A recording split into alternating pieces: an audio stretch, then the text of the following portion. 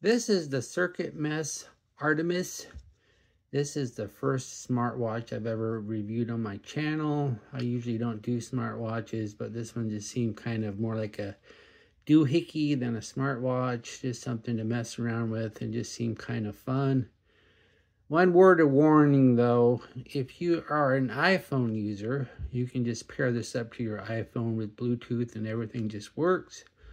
But if you're like me and an Android guy, you have to use this bangle.js app to connect the phone.